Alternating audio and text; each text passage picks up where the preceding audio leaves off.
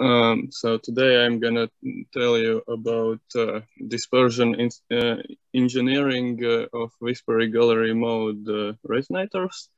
Uh, and uh, yeah, so I'll start with what are Whispering Gallery mode resonators. So Whispering Gallery mode resonators are small structures, usually in, in few micrometers.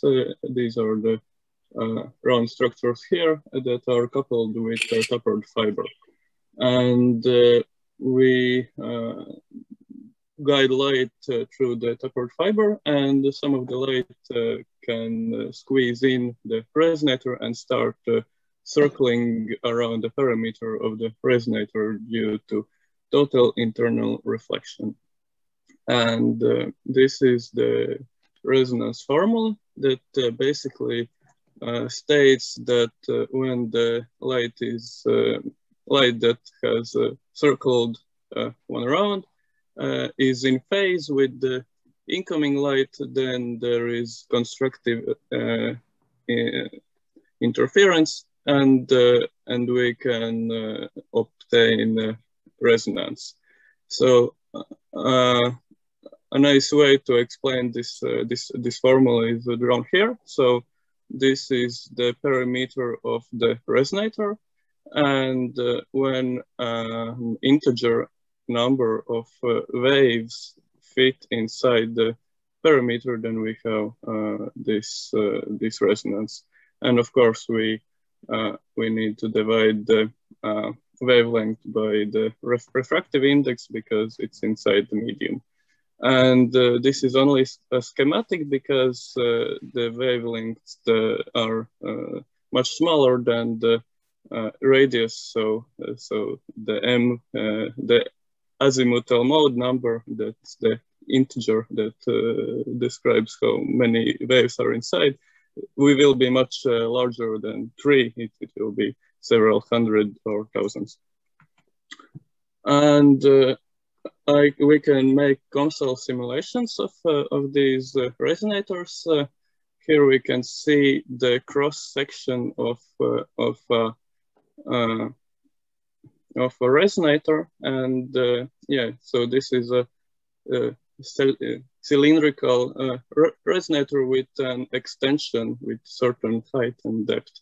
So it's called belt type resonator because it is the cross section of a belt. And yeah, we can see here that uh, that uh, when we change uh, different uh, different frequencies or, or wavelengths, the mode uh, inside the resonator differs in size and uh, also differs the radius of the mode. And we can see also that the mode, the radius, and the radius of the resonator is different. So the path that light, uh, light takes is, uh, is of course in this formula in radius of the mode. And here we can see the um, re relationship of uh, refractive index to wavelength. It's uh, uh, it is a property of material that, that we use. This is the uh, fused, uh, fused silica uh, relationship. And the way we make these calculations is we give COMSOL this azimuthal mode number and ask it to find uh, the wavelength and uh, uh, draw us this picture this, and so find the radius as well. And the problem is that uh, we have to give uh, an re ref refractive index, uh, so we we don't know it at at the beginning because we don't know the the wavelength, so we have to uh, do it iteratively. Uh, so make few few simulations and start with a guess. And good guess would would be 1.1.5 or something like that. So yes, uh, when we have uh, made our uh, our simulations and uh, found the uh, wavelengths uh, of the resonant modes, we, we can we can take the relationship from from wavelengths to azimuthal mode number and calculate the dispersion. Uh, the first uh, order, uh, no, the first uh, derivative uh, will be free spectral uh, range. It is the um, it is the distance from from from two modes, and the second derivative is the dispersion. And dispersion is really crucial for for generation of of um, frequency combs. Uh, so uh, here we can see that our dispersion crosses the zero dispersion here. And uh, uh every time the uh, dispersion curves uh, curve crosses zero dispersion, that's there will be a small comb. And if if the dispersion line would, would be like this, and we would pump it here, then we would get a soliton regime. Uh, so yeah, uh, the next thing is uh, four wave mixing. Uh, this is the generation of a comb. Uh, so we have, uh, this is the signal without any resonator.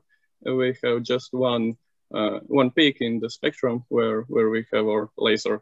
And we send such signal in, inside and there inside the uh, resonator happens uh, for four wave mixing that uh, two pump photons, these, these will be with, uh, with, uh, with this frequency are absorbed and they are converted into two, two different photons. And yes, the energy conversion law is conserved.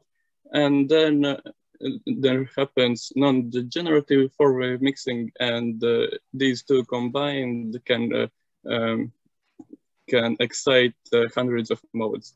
So uh, yeah, we we can see here uh, what what is after the four-wave four-wave mixing that uh, each of these integer number of modes are excited.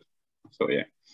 Um, and uh, dispersion engineering is uh, simply put, uh, we, we engineered the, um, mm, the geometry of the uh, resonator in order to uh, change the dispersion profile. So uh, yeah, here, here we see we have the belt-type resonator with this width is one one micron and this height is uh, three and here is 19 microns. So we can see that uh, the uh, uh the dispersion curve is quite different. And so we can change these parameters by parametric sweep. we just sweep through the parameters and then we can uh, get a lot of uh, this dispersion curves and uh, find the one where uh, where the dispersion is the best for uh, comb generation. Here we can see that uh, this is quite quite promising. This would be one one micron deep and 13 microns high. this belt and yes, uh, then uh, why do we need to do this dispersion engineering? The idea is to, uh, after uh, calculating these dispersions that, uh, that we like, we can uh, tell our colleagues to make such such resonators with lithography. We, we know that lithography has high precision and yes, that's, that's, the, that's the idea. Uh, okay, I think my time is up. If you have, wait, sorry, if you have any questions, uh, I can answer them.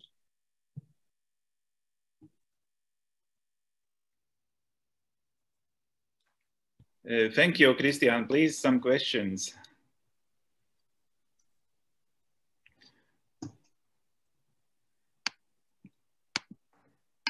So I, I don't see raised hands. Uh, I have a question about the uh, first slide where you have uh, many modes uh, uh, like Here. this one. so um, if you add them together, you would see pulse starting to appear, pulse shapes. And here the red color uh, waves, uh, it is standing waves in linear resonator. If we have a circular resonator, then uh, the wave should repeat on itself after passing a circle, a full, a full circle. And Ah, yes, yes, I understand. Yeah. Oh, so, uh, yeah, thanks for new slide. Uh, so, this was meant uh, only as a schematic, but okay, I, I can I can change it. Thank you.